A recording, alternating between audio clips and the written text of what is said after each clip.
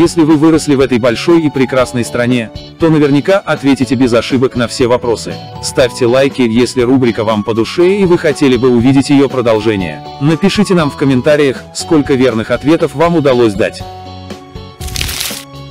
А сколько чебуреков можно было купить в советской столовой, имея в кармане 1 рубль?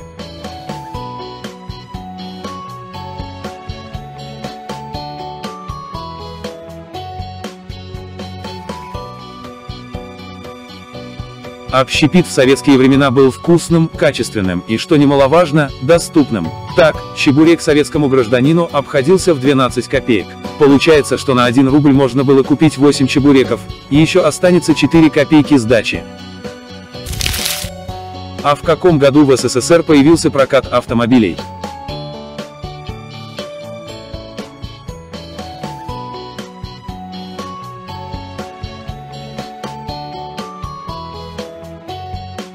Середине 50-х в стране начался туристический бум, и многие путешествовали на автомобилях. Граждане, не имеющие личных машин, также мечтали о самостоятельных путешествиях по стране. Это послужило толчком для создания новой сферы бытовых услуг. Так, в июле 1956 года был открыт первый прокат автомобилей. Такие услуги предоставлялись в основном в Москве, Ленинграде и некоторых других крупных городах. Прокат автомобилей существовал до 1975 года.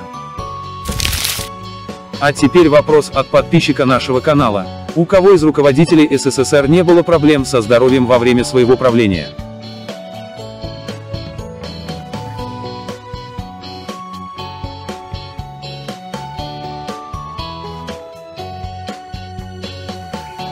Согласно официальным данным, смерть Иосифа Сталина наступила 5 марта 1953 года вследствие кровоизлияния в мозг, которое произошло на почве гипертонической болезни и атеросклероза. Леонид Брежнев тяжело болел с 1974 года. Он страдал от болезни сердца. Умер Брежнев 11 ноября 1982 года, у него оторвался тромб, попавший прямо в сердце. У Юрия Андропова развелось гнойное воспаление соединительной ткани, флегмона после простуды.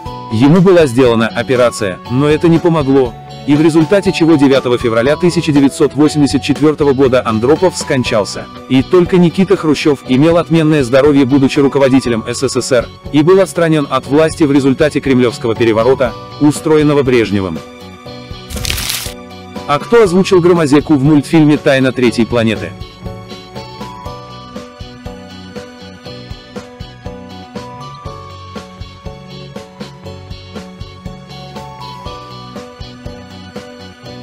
Действие мультфильма «Тайны третьей планеты» происходит в 2181 году. Экспедиция с Земли в составе капитана Зеленого, профессора Селезнева и его дочери Алисы отправляется на корабле «Пегас» на поиски новых видов животных для Московского космического зоопарка. В лунном ресторане они встречают археолога Громозеку. Этот персонаж говорит голосом актера Василия Ливанова.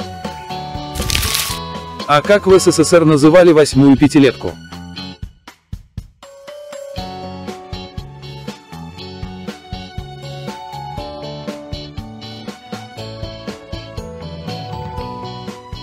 Восьмая пятилетка, проводившаяся с 1966 по 1970 года, получила неофициальное название «Золотая пятилетка» в связи с впечатляющими экономическими показателями. Национальный доход вырос на 42%, объем воловой продукции промышленности вырос на 51%, сельского хозяйства – на 21%. Была закончена единая энергетическая система европейской части СССР и создана объединенная энергосистема Центральной Сибири. Началось освоение тюменского нефти газодобывающего комплекса. О чем шла речь в советской телепередаче «Это вы можете».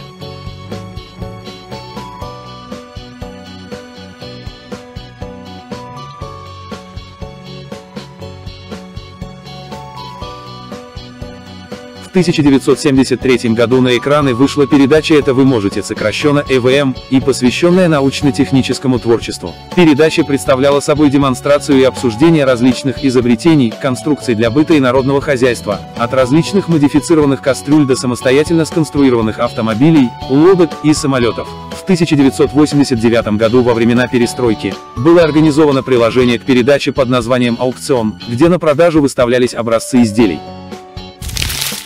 А благодаря съемкам в каком иностранном журнале весь мир узнал актрису Наталью Негоду.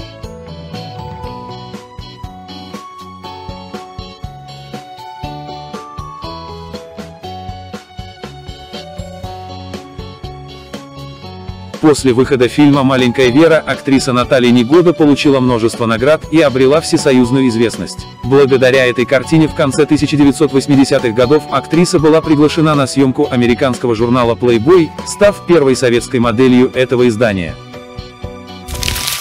А как называется эта картина 60-х годов, написанная Михаилом Ройтером?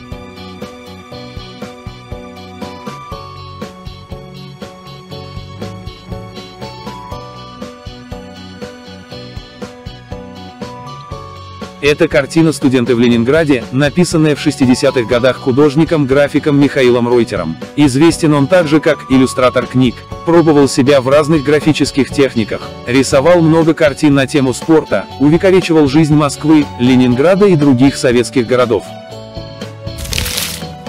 А в каком из этих фильмов не снималась Нонна Мордюкова?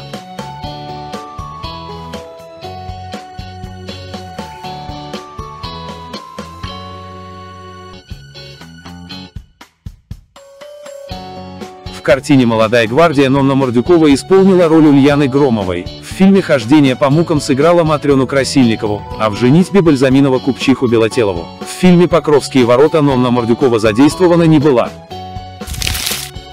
А как назывался пролив, разделяющий СССР и Японию?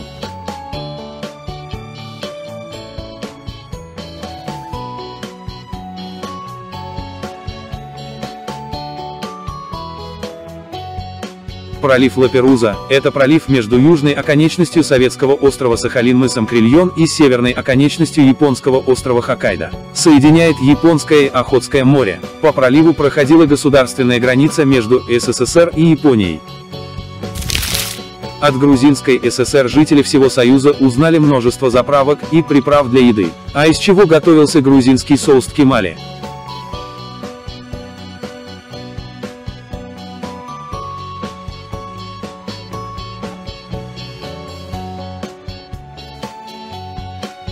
Кемали – это грузинский соус, который готовится из сливы одноименного сорта, которую мы знаем как алыча, а также чеснока и трав. Обязательно добавляется пряность амбала, так называемая болотная мята, которая предотвращает брожение слив. Соус подается к мясу, рыбе и гарнирам из картофеля и макаронных изделий. А какое слово пропущено в пословице советских времен, в этом? Больше погибает, чем в море утопает.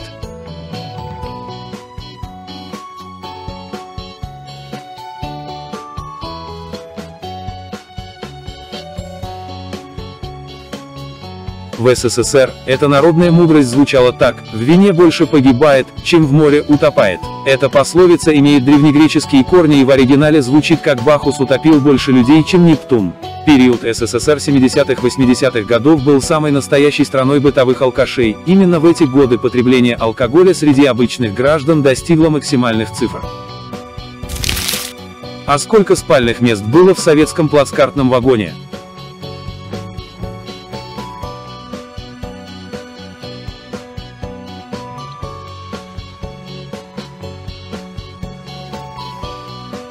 Стандартный плацкартный вагон состоял из 9 отсеков, таких своеобразных открытых купе, в каждом из которых 6 спальных мест, 3 нижних и 3 верхних. Всего 54. Номера нижних мест были нечетные, а верхних – четные. А чем в советские времена лечил людей ампелотерапевт?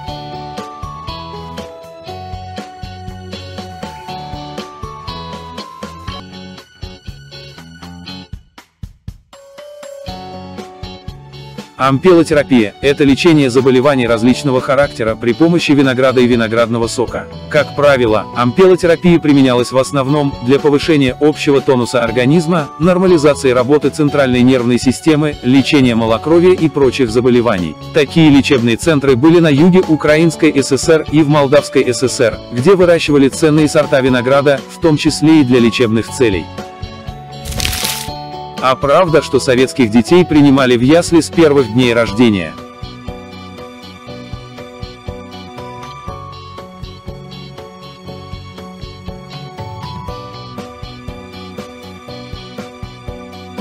1937 году с целью облегчить положение работающих женщин были созданы детские ясли. В них принимали малышей в возрасте двух месяцев и старше. Дети были разделены на четыре возрастных группы, для которых был установлен соответствующий режим и график медосмотров. А в репертуаре какого вокально-инструментального ансамбля была песня «Родная земля»? Край, любимый край, заветный мой, Край, что я зову родной землей, Лишь твои просторы возвращают. Песня «Родная земля» была написана в 1978 году композитором Вячеславом Добрыниным и поэтом Леонидом Дербеневым специально для Виолейси «Песня». Она была представлена коллективом на втором всероссийском конкурсе исполнителей советской песни «Сочи-78». Артисты заняли первое место. А сколько мороженого Минтая в 60-80-х годах можно было купить, имея 1 рубль?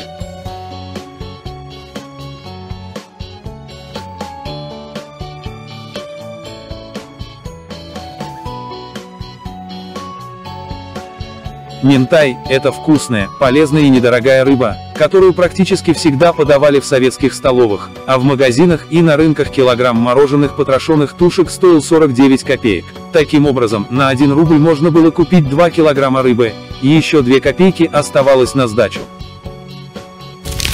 А при каком руководителе СССР проводилась борьба с космополитизмом?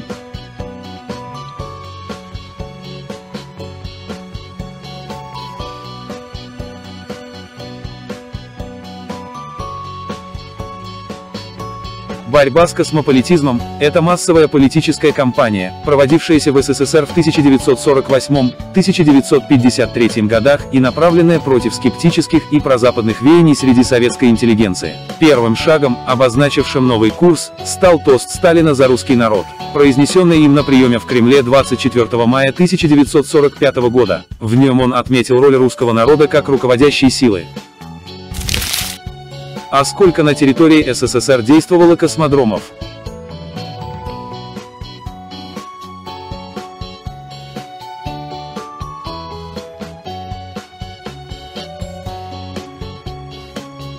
На территории СССР действовало три космодрома. Старейший из них – Капустин-Яр в Астраханской области, построенный в 1946 году для испытания баллистических ракет и переделанный в полноценный космодром в 1962 году.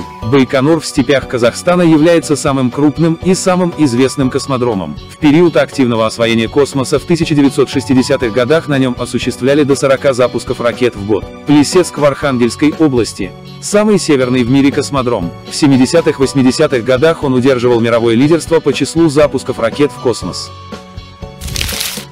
А теперь традиционный бонусный вопрос без ответа. Отгадайте по советским достопримечательностям название города в данном коротком ролике, который нам любезно предоставил Вадим Ушанев, автор канала Вадимушка. Перейти на канал Вадимушка вы можете по ссылке в описании к видео. На этом канале вы увидите и другие интересные ролики, снятые с помощью аэрофотосъемки городских пейзажей с высоты птичьего полета.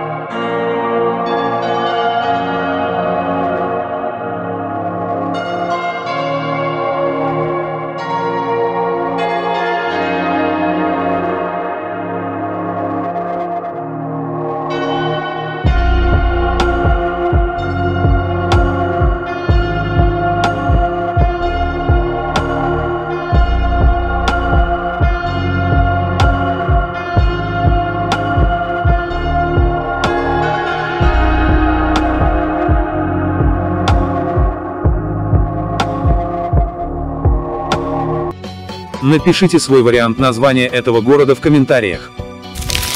Надеемся, что вам понравилось. Мы порадуем вас еще массой увлекательных тестов на различную тематику. Подпишитесь на наш канал и вас каждый день здесь будет ждать новый занимательный тест. Если вам понравилось, ждем от вас лайки и комментарии с впечатлениями о пройденных вопросах.